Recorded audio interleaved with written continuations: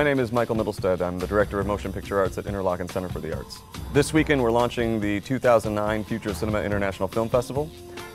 We have independent filmmakers Adrian Belic, uh, director of Beyond the Call, coming in to screen his new documentary about three gentlemen who fly all over the world um, giving aid to war-torn countries that no one else will aid.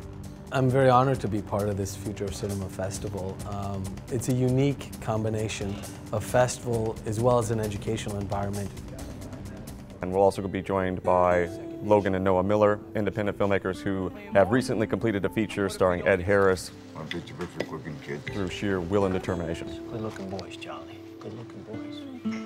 We had no experience, you know, never produced anything, never written anything, never directed, never acted, and, and we were able to go out and do it. Um, and so hopefully we can inspire the students and they just believe that they can do it. They say, hey, these guys did it, so I sure can do it. This festival is not only a competition for high school students, but it's an opportunity for education. They can meet with the guests, Adrian Belic and Logan and Noah Miller, who will give them insight as to how they became successful.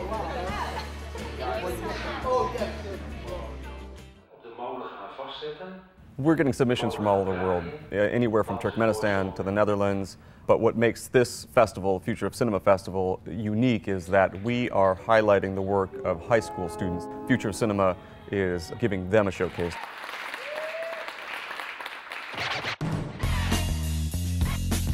Future of Cinema Festival is, no small undertaking. We have been honored to have guests who are willing to give back. So ARRI Camera and Lighting are joining us on our soundstage to do a demonstration.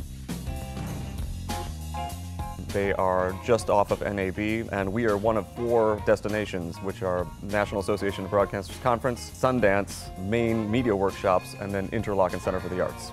ARRI is a great company because they will go a very long way to support the, the great programs like Interlochen. It was just really interesting to see how much goes into setting up an actual film camera. Future of Cinema Festival received over 100 submissions this year.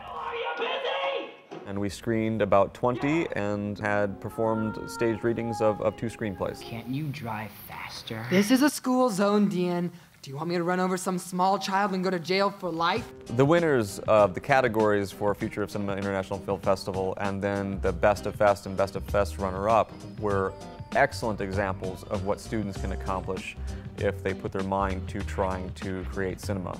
Um, one in particular, Passion for the Wind, was a documentary about a boy from the Netherlands. His, his uncle is a craftsman who makes sails for windmills, and it's so neat and it's so tidy, and every moment counts. The student has an instinct for visual storytelling, and it came through in his piece.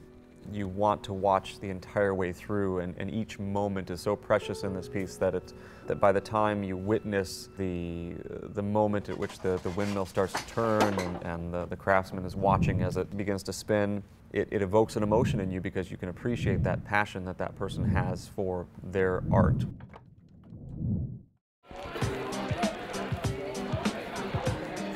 It's been some long and heavy months of planning and, and pre-production, but, but it's all paid off.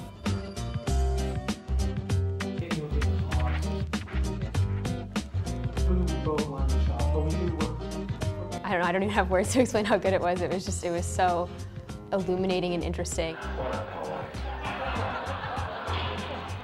So for me to be able to come to places like Interlochen and to share uh, is the way I sort of pay them back. I'm Noah Miller, And I'm Logan Miller, and we're fired up about the Future of Cinema Festival at the Interlochen Center for the Arts.